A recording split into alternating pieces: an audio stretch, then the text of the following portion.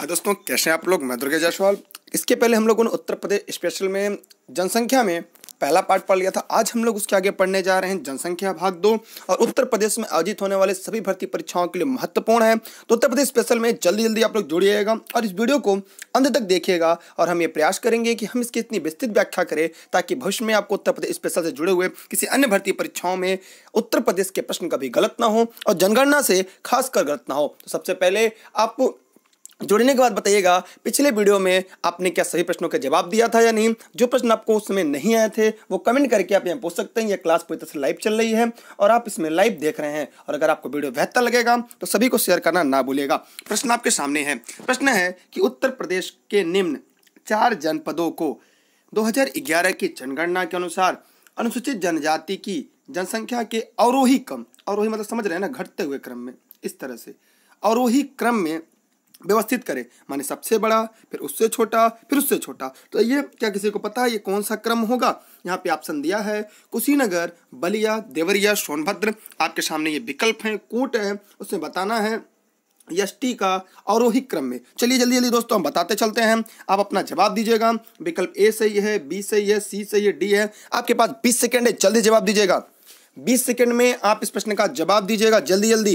अगर आपको वास्तव में बेहतर स्कोर करना है तो शेयर करिए जल्दी जल्दी। चलिए, आपने जवाब दिया तो मैं एक क्रम से पहले बता देता हूँ। फिर आप इसे कमेंट करके बताइएगा, इसका जवाब क्या होगा। देखिएगा 2011 के जनगणना के अनुसार सर्वाधिक यष्टि आबादी वाले पाँच ज़िले अगर हम लोग देखें तो सबसे पहले पे आता है सोनभद्र। पहले क्या आएगा? सोनभद्र आएगा। क्या आएगा? सोनभद्र आता है, दूसरे पर अगर हम देखेंगे तो बलि आएगा। दूसरे पे क्या आएगा? बलिया आएगा। बलिया किस क्रम पे? दूसरे पे। तीसरे पे देवरिया यहाँ पे दिया भी गया है, तीसरा। तीसरे पे देवरिया आएगा और देवरिया के बाद कुशीनगर चौथे पे। कुशीनगर क्या है? चौथे पे। अगर पूछा जाता यष्टि जनसंख्या के मामले में पांचवा क्या है तो पांचवा आपका ललितपुर था। कुशीनगर के बाद पांचवा ललितपुर था इस प्रकार आपका विकल्प कौन सा है आप कमेंट करके बताइएगा हम विकल्प आपको नहीं बताएँगे। विकल्प कौन सा सही हुआ किसमें ये मिल रहा है? सोनभद्र बलिया देवरिया कुशीनगर और ललितपुर पाँच ऐसे ज़िले हैं जो अवरोही क्रम में किसके अनुसार यष्टि जनसंख्या के आधार पर आपको घटते हुए क्रम में हमने आपको बता दिए। अब चलते हैं फटाफट अगले प्रश्न की तरफ़ से चार विकल्प में से कौन सा विकल्प सही है? आप कमेंट करके बताइएगा कौन सा विकल्प मेरे द्वारा बताए गए नियम का। फॉलो करके आ, अगला प्रश्न आपके सामने, प्रश्न नंबर सोलह। जल्दी जल्दी, फटाफट जुड़िएगा आप लोग। और छोटा सा प्रश्न आपसे हम पूछेंगे कि उत्तर प्रदेश की जीवन प्रत्याशा क्या थी? कमेंट करके अपने जवाब आप दीजिएगा कि उत्तर प्रदेश की जीवन प्रत्याशा क्या थी? प्रश्न नंबर सोलह। सोलह में आपको बताना है कि ए, कथन दिया है और आर, कारण दिया है। उत्तर प्रदेश में भारत की जनसंख्या का सर्वाधिक जमाव पाया जाता। पता नहीं, सही बात है कि नहीं? कथन कह रहा है कि उत्तर प्रदेश में भारत की जनसंख्या का सर्वाधिक जमाव पाया जाता है। जब किसका कारण है, यह भारत का घना बसा राज्य भी है, यह उत्तर यह जो भारत का एक घना और बसा राज्य भी है। आइए देखते हैं, इसमें आपके सामने चार प्रकार के विकल्प दिया गया है। आपको बताना है ए आर दोनों सही हैं और ए आर की सही व्याख्या है। क्या ये सही बात है? जल्दी से कमेंट करके बताइएगा। जी हाँ मैं ऊपर आपको पहले बता देता हूँ। उसके बाद आप बताइएगा विकल्प कौन सा सही है। देखिएगा, उत्तर प्रदेश में भारत की जनसंख्या का सर्वाधिक जमाव पाया जाता है, ये बात सही है। लेकिन यह भारत का सबसे घना बसा राज्य है, ये गलत है।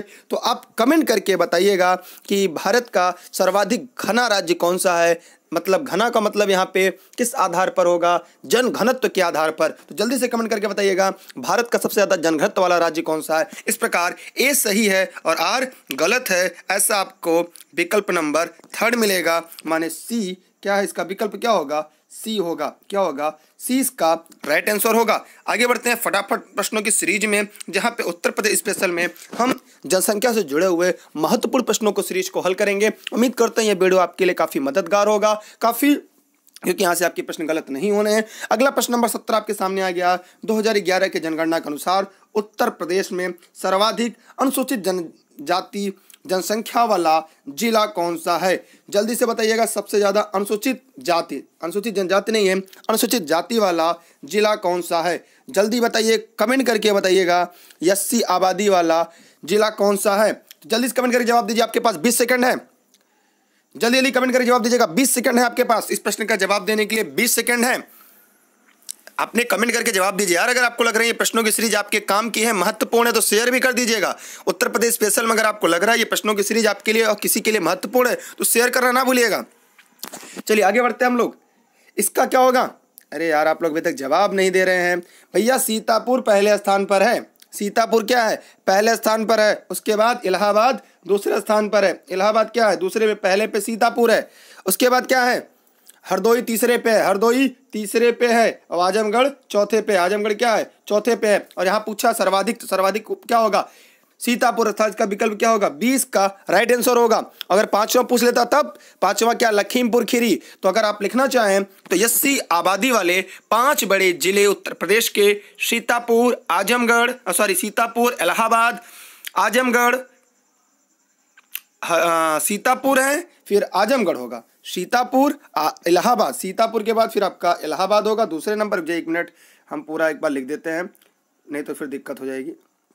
पहले पे सीतापुर है, दूसरे पे इलाहाबाद है, तीसरे पे हरदोई है, चौथे पे आजमगढ़ है। अगर पांचवा पूछ लेता तो पांचवा लखीमपुर खीरी है। अब इससे छोटा प्रश्न हम एक से आपसे पूछेंगे, इसका उत्तर क्या होगा? इसका उत्तर बीस का राइट आंसर होगा। एक छोटा सा प्रश्न आप बताइएगा कि सबसे कम अनुसूचित जाति वाला जिला कौन सा है? हम आपसे ये प्रश्न पूछ रहे हैं, इसका जवाब आप कमेंट बॉक्स में दीजिएगा। जल्दी से कमेंट बॉक्स में दीजिएगा कि अस्सी जनसंख्या में 2011 जनगणना के अनुसार सबसे छोटा, कम जनसंख्या वाला जिला कौन सा है? जल्दी से कमेंट करके जवाब दीजिएगा। चलिए, आपने जवाब नहीं दिया, मैं उसका उत्तर बताता हूँ, उसका उत्तर है बागपत। क्या है? बागपत। अगला प्रश्न नंबर अट्ठारह है। 2011 की जनगणना के अनुसार सर्वाधिक साक्षरता वाले चार जिलों का अवरोही क्रम है और वही माने घटते हुए क्रम में माने सबसे बड़ा, फिर उससे कम, फिर उससे कम। तो आप जल्दी जल्दी कमेंट करके बताइए, आपके सामने चार विकल्प है और आपके सामने समय है बीस सेकेंड और आपका समय स्टार्ट होता है अब। जल्दी जल्दी बताइएगा। जल्दी बताइएगा सरछत्ता क्रम में चार ज़िले कौन कौन से हैं? जल्दी जल्दी बताइए भाई साहब, आप लोग इतना धीरे धीरे चार जिलों का साक्षरता में बताइए। सर्वाधिक साक्षरता वाले ज़िले कौन से हैं? देखिए, पहली बात तो आपको यह पता होना चाहिए था कि गाजियाबाद नहीं है, गाजियाबाद नहीं है, गाजियाबाद। इसका मतलब गौतम बुद्ध नगर पहले पे है। तो गौतम बुद्ध नगर सही है तो पहले भी क्या है? गौतम बुद्ध नगर जहाँ पे अस्सी दशमलव लिखना चाहे लिख लीजिएगा। गौतम बुद्ध नगर लगभग लगभग हम आंकड़े बता रहे हैं आपको। लिखेंगे, लिख लीजिएगा। गौतम बुद्ध नगर अस्सी दशमलव एक परसेंट, फिर कानपुर नगर। फिर कानपुर है आपका। कानपुर कितना है? किसी को पता है? Seventy nine point six five percent लगभग। उसके बाद औरैया है। औरैया के बाद, यहाँ तक तीनों मिल रहा है। मतलब ए और बी दोनों मिल रहे हैं। औरैया के बाद क्या है? गाजियाबाद है या इटावा जल्दी जवाब दीजिएगा। कानपुर नगर के बाद औरैया है। न?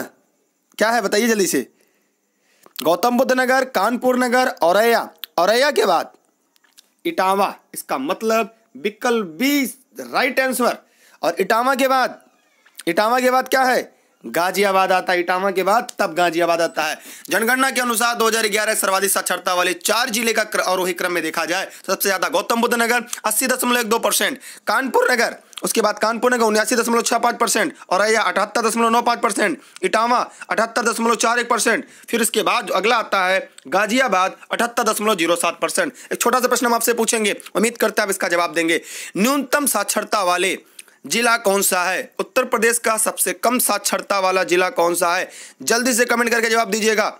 छियालीस दशमलव सात चार परसेंट है। नाम बताइएगा उसका। आपके पास दस सेकेंड है। जल्दी से बताइएगा। यार भाई साहब लोग कमेंट करके जवाब नहीं दे रहे हैं। ये लाइव क्लास चलेगा लाइव देख रहे हो, ठीक है, नहीं, बाद में अगर देख रहे हो तो। श्रावस्ती है भैया, श्रावस्ती। छियालीस दशमलव सात चार परसेंट। अगला है।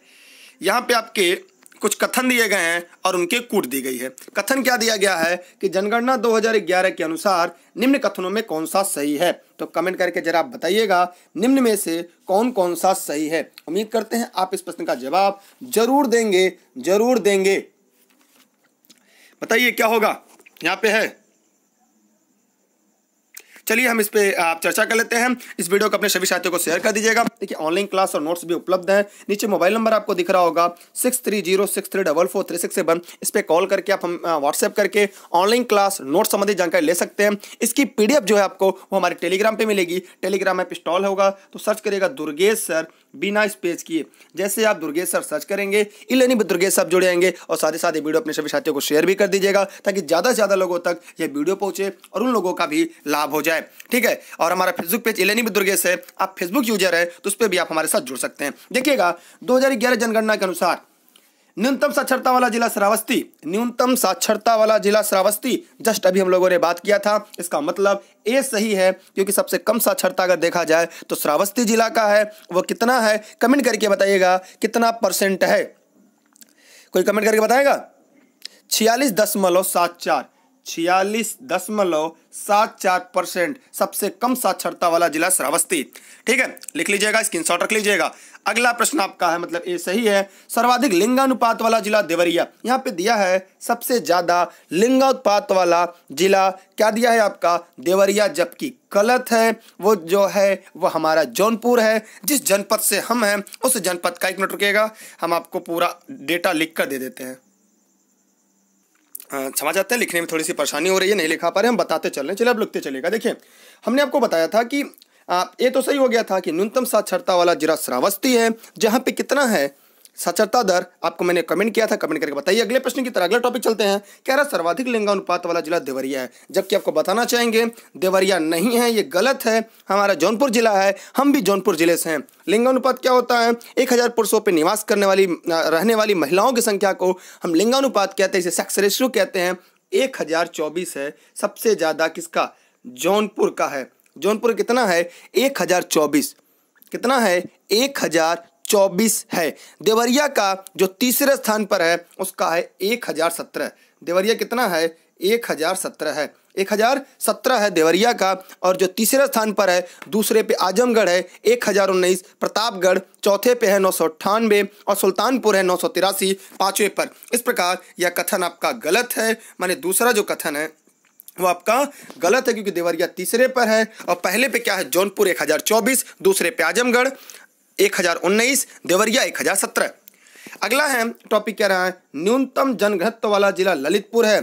जन घनत्व किसे कहते हैं? एक किलोमीटर पर, एक वर्ग किलोमीटर में निवास करने वाले प्रति व्यक्ति की संख्या को क्या कहा जाता है? जन घनत्व कहा जाता है। जल्दी से कमेंट करके बताइए, क्या न्यूनतम जन घनत्व वाला जो जिला है, वह ललितपुर है? कल हमने बताया था, कल के टॉपिक अगर आप लगातार रेगुलर मेरी वीडियो देख रहे होंगे तो आप ये तुरंत बता देंगे कि यह कथन सही है या नहीं। जल्दी से कमेंट करके बताइएगा। लिंगा न्यूनतम जनघनत्व किसका है? भैया, आप लोग कमेंट इतना देर से आएगा तब तक तो हो जाएगा। जी हाँ आपने एकदम सही बताया। सबसे कम जनघनत्व वाला जिला ललितपुर है। सबसे कम जनघनत्व वाला जिला उत्तर प्रदेश कौन सा है? ललितपुर है। क्या है? ललितपुर है। ठीक है? तो आगे बढ़े अब इसके बाद। कोई दिक्कत, कोई समस्या यहाँ से, एक छोटी सी रिक्वेस्ट है कि इस वीडियो को अपने सभी साथियों को शेयर कर दीजिएगा। अगर आप फेसबुक यूज़र हैं तो फेसबुक पे हमारे इलेनी दुर्गेश को सर्च करके फेसबुक पेज पर जुड़े रहिएगा, जहाँ पे इस पीडीएफ इसकी नोट्स हम आपको उपलब्ध करा देंगे। साथ ही साथ, अगर आप टेलीग्राम भी यूज़ करते हैं, नहीं यूज़ करते हैं तो टेलीग्राम पर ज़रूर जुड़िएगा। इस तरह के सभी बड़े वीडियो आपको टेलीग्राम पे ज़रूर मिलते जाएँगे। तो न्यूनतम जनघनत्व वाला जिला ललितपुर है। एक छोटा सा प्रश्न पूछेंगे कि जनघनत्व ललितपुर का कितना है? ठीक है? तो कमेंट करके बताइएगा कि ललितपुर का जन घनत्व कितना है? कमेंट करके बताइएगा कि ललितपुर का जन घनत्व कितना है? जी 242 242 है। अच्छा सर्वाधिक जनघनत्व वाला जिला कौन सा है? सर्वाधिक जनघनत्व वाला जिला कौन सा है? कल हमने बताया था, सर्वाधिक जनघनत्व गाजियाबाद, तीन हज़ार नौ सौ इकहत्तर व्यक्ति प्रति वर्ग किलोमीटर। तीन हज़ार नौ सौ इकहत्तर व्यक्ति गाजियाबाद है। आगे आते हैं। मतलब इसका दो बात तो सही हो गई कि कथन एक सही है और कथन तीन। चौथे में देखते हैं। नगर निगम क्षेत्र की जनसंख्या के आधार पर राज्य की सर्वाधिक जनसंख्या वाला नगर कानपुर है। तो भैया, चौथे को भी आप बताइएगा कि क्या ये सही कह रहा है? नगर निगम क्षेत्र। बताइए, नगर निगम। कमेंट करके बताइए, नगर निगम क्षेत्र की जनसंख्या के आधार पर राज्य का सर्वाधिक जनसंख्या वाला नगर कानपुर है। बताइए जल्दी से। आपके पास बीस सेकंड है, बताइए जल्दी से। बताइए जल्दी से कमेंट करके भैया, कितना, कहाँ है?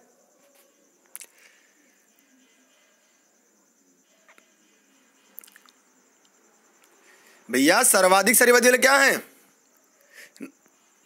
कानपुर नगर होगा कि गाजियाबाद? देखिए, शहरी आबादी की बात देखा जाए तो सबसे ज़्यादा शहरी आबादी वाला जिला गाजीपुर गाजियाबाद है। क्या है? गाजियाबाद गाजियाबाद है। और यहाँ पे दिया है कानपुर नगर तो ये कथन गलत है। ठीक है? ये कथन गलत है। और जब ये गलत है तो सही क्या हुआ? एक और तीन। आइए कूट का चयन करते हैं। एक और तीन कहाँ पे है? तो एक और तीन आपका जो मिला, वो मिला है विकल्प नंबर बी में। एक और तीन है। कॉन्सेप्ट क्लियर होता है? आगे बढ़ेंगे हम लोग। अगला प्रश्न की तरफ़ आते हैं। प्रश्न नंबर बीस। उम्मीद करते हैं अब इस प्रश्न का जवाब ज़रूर देंगे। कल भी हमने इसके बारे में बताया था। जरा कमेंट करके बताइएगा, यह वीडियो आपको कैसा लग रहा है? कि अगर कोई कमी हो तो बताइएगा, ताकि अगली बार हम लोग से सुधार कर सकें। तो जल्दी जल्दी अपने कमेंट सेक्शन में अपना इसका जवाब दीजिएगा। एक छोटा सा प्रश्न आपके सामने आ चुका है। प्रश्न आप जानते होंगे 2011 के अनुसार राज्य में एक हज़ार बालकों पर बालिकाओं की संख्या क्या है? यहाँ पे जन घनत्व की बात हो रही है। जल्दी से बताइएगा। जन घनत्व क्या है? उत्तर प्रदेश का। अभी हमने, सॉरी, लिंगानुपात। लिंगानुपात की बात कर रहे लिंग, वो भी बालिका शिशुओं की संख्या। किसका पूछा जा रहा है? बालिका शिशुओं की संख्या। तो शिशु की संख्या बताइएगा। क्या होगा? देखिए, अगर लिंगानुपात की बात करें, ऐसे लिंगानुपात की अगर हम बात करते हैं तो बालिका शिशुओं की संख्या, और अगर केवल बालिका की बात करता दोनों बात को मैं बता रहा हूँ तो वह होता 912 क्या है? 2001 में अगर जनगणना देखें तो आठ था। कितना था? आठ था। ठीक, अब वो बढ़कर लिंगानुपात 912 हो गया। लेकिन यहाँ पे जो आपका प्रश्न पूछा गया है, वो क्या पूछा है? राज्य में सबसे कम लिंगानुपात वाला जिला क्या है? शिशु अगर पूछा, क्योंकि शिशु की बात कर रहा है तो वह है कौन सा? अगर जिला पूछ देता तो क्या होता? सबसे ज़्यादा बलरामपुर, सबसे कम बागपत। तो आप जरा कमेंट करके बताइए, इसमें कौन सा होगा? जल्दी से कमेंट करके जरा जवाब दीजिएगा, क्या होगा इसका? बताइए, क्या होगा?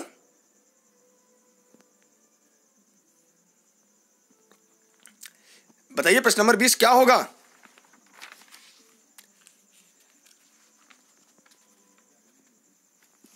नौ सौ दो, सही जवाब, नौ सौ दो। सही जवाब है। 902 जिन्होंने बताया, एकदम सही जवाब है आपका। 902 राइट आंसर है। 2011 की जनगणना के अनुसार 1000 बालकों पर बालिकाओं की संख्या 902 है। कितना है? 902 एकदम राइट आंसर है। 902 जिन्होंने बताया है, उनके जवाब सही हैं। क्या उनके जवाब सही हैं? ठीक है?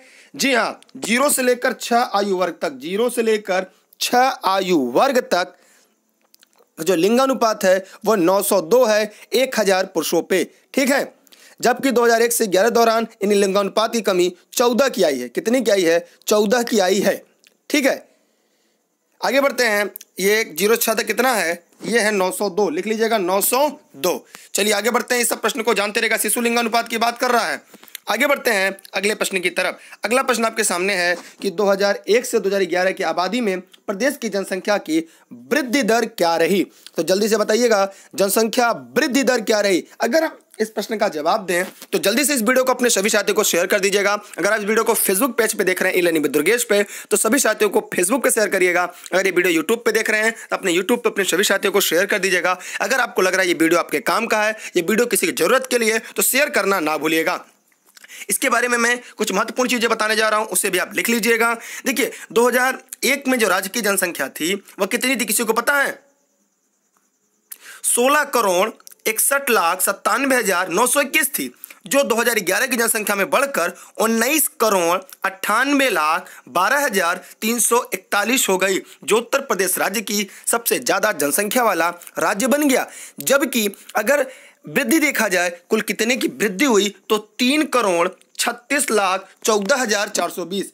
तीन करोड़ छत्तीस लाख चौदह हज़ार चार सौ बीस। चार सौ बीस। इतनी जनसंख्या की वृद्धि हुई 2001 से लेकर 2011 तक, जो बीस दशमलव दो दो परसेंट था। कितना था? बीस दशमलव दो दो परसेंट। इस प्रकार दिए गए प्रश्न का जो विकल्प होगा, वो क्या होगा? डी इसका राइट आंसर होगा। डी क्या होगा? सही जवाब होगा। अगर पूछा जाता कि पुरुष जनसंख्या कितनी बढ़ी या या पूरी जनसंख्या कितनी है 2011 जनगणना के अनुसार तो कमेंट करके बताइएगा उत्तर प्रदेश में पुरुष जनसंख्या कितनी है। तो बावन दशमलव सात परसेंट है, जबकि महिला सैतालीस दशमलव तीन परसेंट है। ठीक है?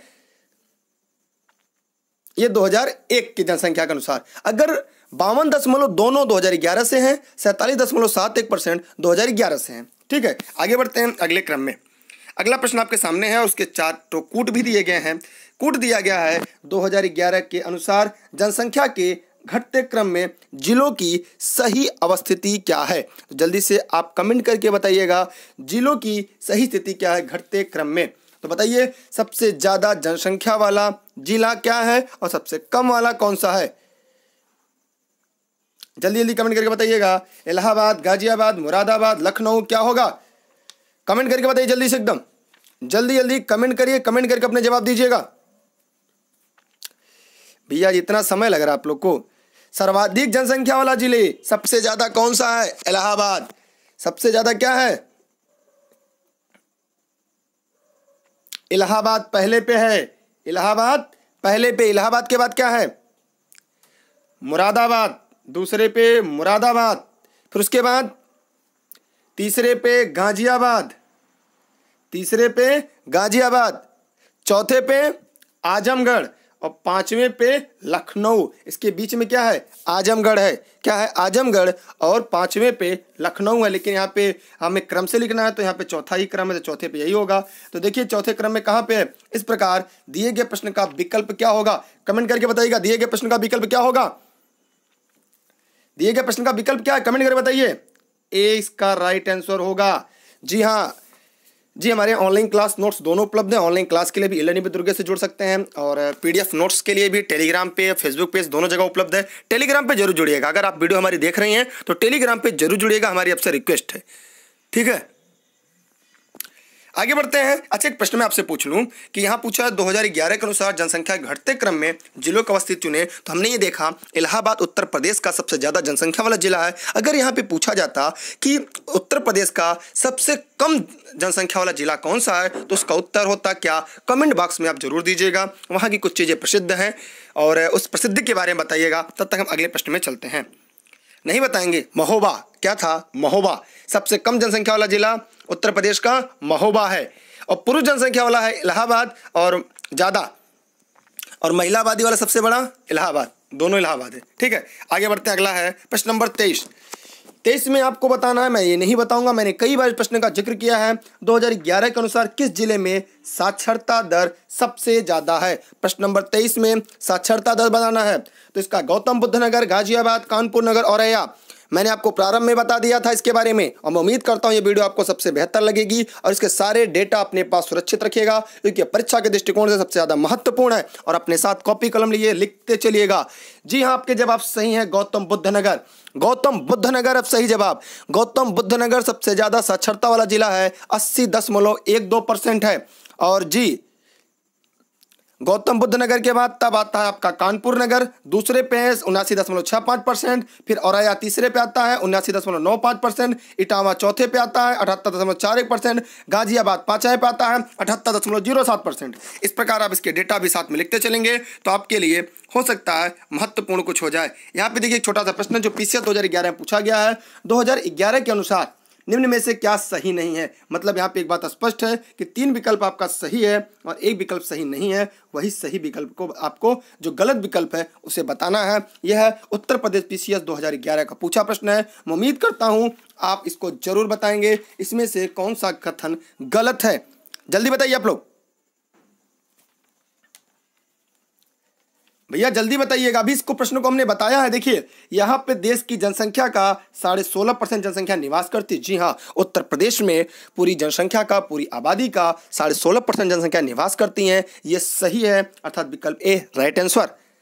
आगे बढ़ते हैं। अब कह रहा है, बी, यहाँ देश के सर्वाधिक बच्चे पाए जाते जी हाँ यहाँ पे देश के सबसे ज़्यादा बच्चे पाए जाते हैं, ये भी सही है। कह रहा है इसकी दस की वृद्धि सत्रह दशमलव सात परसेंट है। इसका लिंगानुपात नौ सौ बारह। जी हाँ इसका लिंगानुपात नौ सौ बारह है, जो पहले छह सौ कितना था? कमेंट बताइए, इसका लिंगानुपात पहले क्या था और अब क्या है? अब तो पता हो गया आपको, नौ सौ बारह है। इसके पहले क्या था? आठ सौ अंठानवे था। चौदह की वृद्धि हुई है। चौदह की वृद्धि हुई है। चौदह की वृद्धि हुई है। पहले कितना था? आठ सौ अंठानवे था। इसमें गलत क्या है? इसकी दस की वृद्धि जो है, सत्रह दशमलव सात परसेंट जो है, यही जो गलत है तो यही सही है, क्योंकि यहाँ पे गलत कथन के बारे में पूछा था। यहाँ पे दस की जो वृद्धि है, उत्तर प्रदेश की, वह बीस दशमलव दो दो परसेंट है। क्या है? बीस दशमलव दो दो परसेंट है। क्या है? बीस दशमलव दो दो परसेंट है, और ये सत्रह दशमलव सात दिया है, इसलिए ये गलत है, और जो गलत है वही सही है, क्योंकि नहीं में पूछा है। क्या वो आपको समझ में आ रहा है? चलिए आगे बढ़ते हैं। आगे प्रश्न के आपके सामने आ चुका है। 2011 के अनुसार सही कूट को चुनिए। यहाँ पे देखिए, कूट दिया गया है। आपका समय शुरू होता है अब। अब आपको ये बताना है कि क्या सही होगा। जल्दी बताइएगा।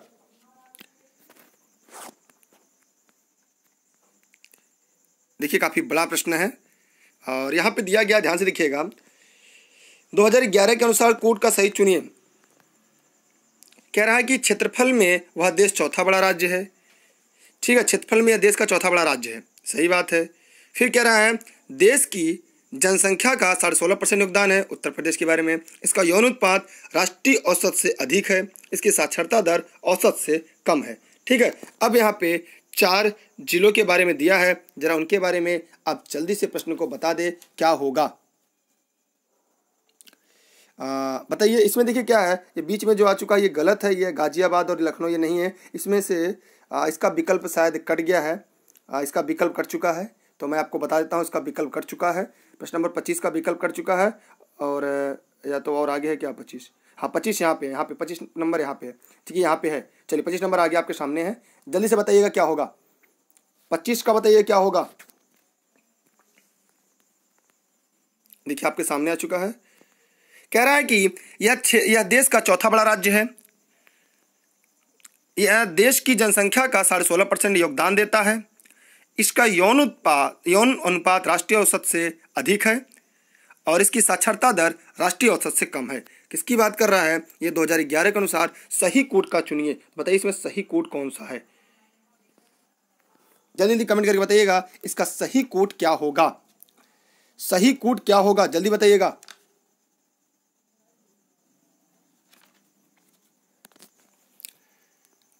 देखिए, यहाँ बता रहा है, यह क्षेत्रफल में देश का चौथा बड़ा राज्य है। ठीक है? तो यह बात भी सही है। ये क्या है? यह देश में क्षेत्रफल का चौथा बड़ा राज्य है। ठीक? और दूसरी तरफ़ यहाँ क्या कह रहा है? यह कह रहा है, देश की जनसंख्या का साढ़े सोलह परसेंट योगदान देता है। यहाँ पे ये कह रहा है, ये जनसंख्या कितना देता है? साढ़े सोलह परसेंट योगदान देता है। ठीक है? देश की जनसंख्या कुल साढ़े सोलह परसेंट। तो ये भी सही है आपका। ये भी सही है। फिर कह रहा है इसका जो अगर, ये लिंगानुपात देखा जाए तो लिंगानुपात क्या है? 912 है। और जो 912 है, इसका मतलब क्या है? ये राष्ट्रीय औसत से अधिक है। जरा कमेंट करके बताइएगा कि इसका लिंगानुपात कम है या ज़्यादा है या सही है। कमेंट करके बताइएगा। भैया, इसका राष्ट्रीय औसत से अधिक है, अधिक नहीं है। ये देखिए, यहाँ का 912 है और देश का कितना है? नौ भारत का क्या है? नौ है। मतलब इसका तीसरा गलत है। अब इसकी साक्षरता दर औसत से कम है। तो बताइए, इसकी साक्षरता दर क्या है? जरा आप कमेंट करके बताइएगा, साक्षरता दर क्या है? देखिए, अगर साक्षरता दर की बात करें तो उत्तर प्रदेश की कुल साक्षरता दर, अगर महिला पुरुष कुल साक्षरता दर की बात करें 2011 के अनुसार तो क्या होगा? देखिए 15 परसेंट की साक्षरता में वृद्धि हुई है। और 2011 के अनुसार देखा जाए तो पैंसठ दशमलव चार परसेंट ग्रामीण और नगरीय क्षेत्र का है ये। तो इसका विकल्प क्या होगा? इसकी साक्षरता दर राष्ट्रीय औसत से कम है या अधिक है? कमेंट करके आप ज़रूर जवाब दीजिएगा। आप सभी लोग साक्षरता दर के बारे में जवाब ज़रूर दीजिएगा। भैया, कुल साक्षरता कितना? सड़सठ दशमलव सात परसेंट है। ठीक? और जबकि ये क्या है? सड़सठ दशमलव सात परसेंट है। तो बताइए साक्षरता दर क्या है? बड़ी है, घटी है, क्या हुआ है? देखिए, औसत साक्षरता दर अगर 2011 देखा जाए, सड़सठ दशमलव सात परसेंट है। ठीक? तो क्या होगा? बड़ी है कि कम हुई है? आप लोग बता ही नहीं रहे तो इस प्रश्न का जो यहाँ विकल्प है कि कौन सा कथन सही उत्तर चुनिए। तो इसमें देखिए, जो कूट है, इसमें गलत है तो आप लोग हमें कमेंट करके यहाँ बताइएगा कि इसमें से कौन कौन सही है और कौन गलत है। ठीक है? आप इसमें से कमेंट करके बताइएगा, इसमें कौन सा कथन सही? क्योंकि यहाँ पे जो कोड दिया गया है, वो कोड गलत है। मतलब कोड का उत्तर जो है, वो गलत है। इसलिए इस प्रश्न का जवाब आप कमेंट सेक्शन में दीजिएगा और हम आपको कमेंट सेक्शन में इसका उत्तर बता देंगे। क्योंकि देखिए, यहाँ पे कई बातें कन्फ्यूज़न करने वाला है। क्योंकि यहाँ पे जो कोड दिया गया, वो गलत है यहाँ पे। जैसे देश में छतफल में देश का चौथा बड़ा राज्य, ये भी सही है। देश की जो जनसंख्या है, वो साढ़े सोलह परसेंट है। ये भी है मतलब एक और दो तो कन्फर्म है। उसके बाद इसका यौन अनुपात राष्ट्रीय औसत से अधिक है, ये गलत है। इसकी साक्षरता दर राष्ट्रीय औसत से कम है। देखिए, कम वाला ये भी सही है। इसका मतलब यहाँ पे विकल्प तीसरा गलत है, इसलिए दिक्कत हो रही है कूट में तो आप इसका जवाब कमेंट सेक्शन में ज़रूर दीजिएगा। आगे बढ़ते हैं प्रश्न नंबर छब्बीस की तरफ़।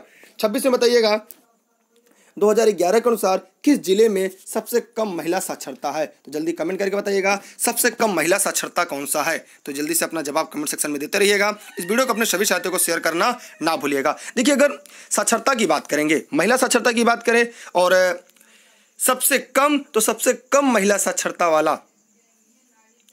श्रावस्ती है चौंतीस दशमलव सात आठ परसेंट। कौन सा है? अच्छा ज़िले में सबसे कम महिला साक्षरता है। दो हज़ार ग्यारह के अनुसार।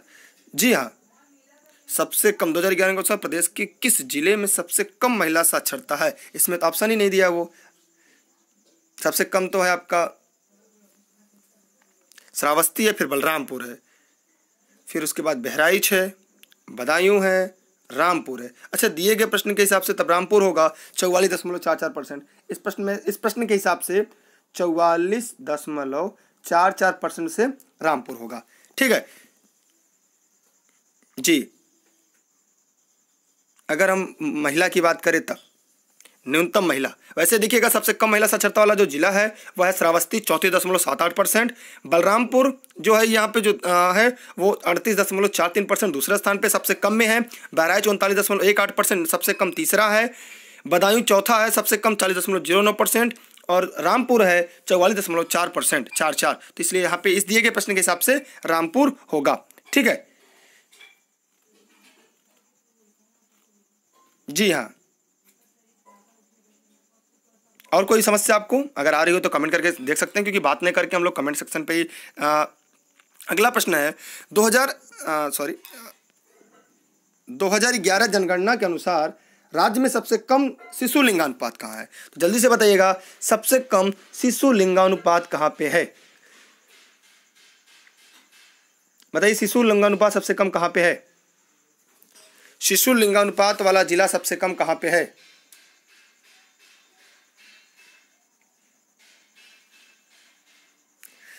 गौतम बुद्ध नगर, बागपत, मेरठ, बलरामपुर। कमेंट करके बताइएगा, हमने इसके पहले भी, कुछ देर पहले हमने इसके बारे में बता दिया था। लिंगानुपात में मैंने बता दिया था। कमेंट बताइए, दो हज़ार ग्यारह सबसे कम शिशु लिंगानुपात कहाँ पे है? देखिए, सबसे कम यहाँ पे पूछा है ना, सबसे कम तो सबसे कम बागपत में है, सबसे कम बागपत में है। 2011 के जनगणना के अनुसार ये ज़ीरो से छः आयु वर्ग का पूछा जाता है तो ये बागपत है। सबसे ज़्यादा बलरामपुर है। सबसे ज़्यादा बलरामपुर। बलरामपुर सबसे ज़्यादा है। ज़्यादा अगर पूछता हो तो बलरामपुर, सबसे कम पूछा इसलिए बागपत। ध्यान सुनिएगा, ज़्यादा बागपत है, सबसे कम बलरामपुर है। आगे देखते हैं, प्रश्न नंबर अट्ठाईस। देखिएगा, आपके लिए महत्वपूर्ण है। देखिए, ऑनलाइन क्लास के लिए अगर आप लोग को जुड़ना है तो उसके लिए six three zero six three double four three six seven पर आप व्हाट्सएप करके ऑनलाइन क्लास से संबंधित जानकारी ले सकते हैं। हमारे यहाँ नोट्स है जो आपको घर तक होम डिलीवरी दी जाती है। तो कैसे पहुँचेगा वो आप six three zero six double four three six seven पर व्हाट्सएप करके जान सकते हैं। साथ ही साथ हमारे टेलीग्राम पे जो दुर्गेश सर है E learning with Durgesh Durgesh sir search करके आप वहाँ से जुड़ सकते हैं। डिस्क्रिप्शन में उसकी लिंक होगी, आप टेलीग्राम ज़रूर ज्वाइन कर लीजिएगा, क्योंकि इसकी पीडीएफ प्रश्नों की या उत्तर प्रदेश स्पेशल की सभी प्रश्नों की पीडीएफ सीरीज़ आपको वहाँ पर उपलब्ध हो जाएगी। महत्वपूर्ण लेक्चर महत्वपूर्ण नोट्स सभी आपको टेलीग्राम पर हमारे Facebook page E learning Durgesh पर उपलब्ध होगा। फिर हम आगे देखेंगे। यहाँ पे 2011 जनगणना के अनुसार सबसे ज़्यादा साक्षरता वाला जिला क्या है, मैंने कई बार बता चुका हूँ और मुझे लगता है इस बार आपको जब बताना नहीं पड़ेगा तो यहाँ पे इसका जो उत्तर होगा, वो क्या होगा? जल्दी से बताइएगा। सर्वाधिक साक्षरता वाला जिला गौतम बुद्ध नगर है। क्या है? गौतम बुद्ध नगर है। ठीक है?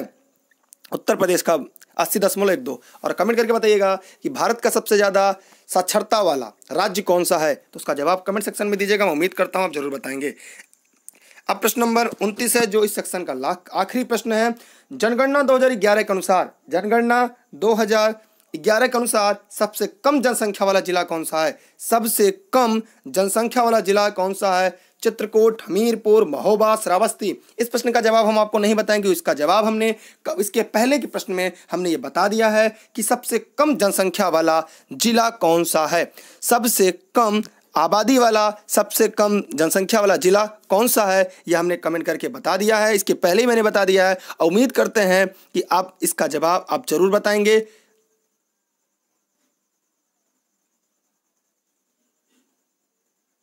बताइए क्या है?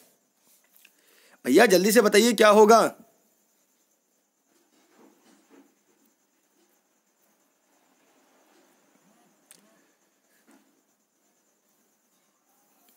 क्या होगा भैया? आप लोग नहीं बता रहे हैं क्या होगा?